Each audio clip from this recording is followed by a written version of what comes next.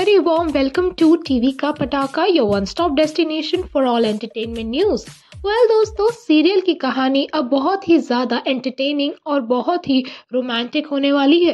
एक तरफ़ जहाँ ईशान ने हमेशा हमेशा के लिए रीवा को अपनी ज़िंदगी से दूर कर दिया तो वही उसका दिल अब भाग भाग कर सभी के पास जा रहा है। लेकिन अब सभी की जान आ चुकी है खतरे में, क्योंकि सभी को मार दी है और किसी ने नहीं बल्कि समृद्ध ने गोली। लेना चाहता है वो सभी से अपना बदला।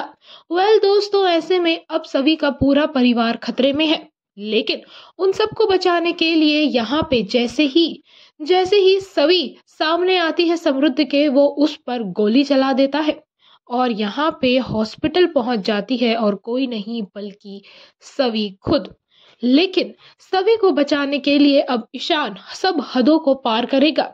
ईशान की क्या बाहों में ही दम तोड़ देगी सभी? ऐसा हो नहीं सकता क्योंकि सभी तो कहानी की हीरोइन है।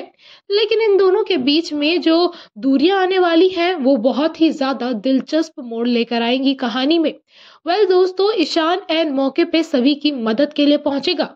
लेकिन तभी वहाँ पर आपको बता दें कि जो समृद्ध है, वो सभी पर गोली चला देगा और यहाँ सभी को लगेगी गोली, जिसके बाद ईशान उसे उठाकर हॉस्पिटल ले जाएगा और पूरे वक्त उसी का हाथ पकड़कर हॉस्पिटल में खड़ा रहेगा। और दूसरी तरफ़ घर में भोसले परिवार वाले बहुत ही ज़्यादा गुस्से में और चिड़े हुए होंगे, क्योंकि एक बार फिर से ईशान सभी के पीछे पीछे घूम रहा है।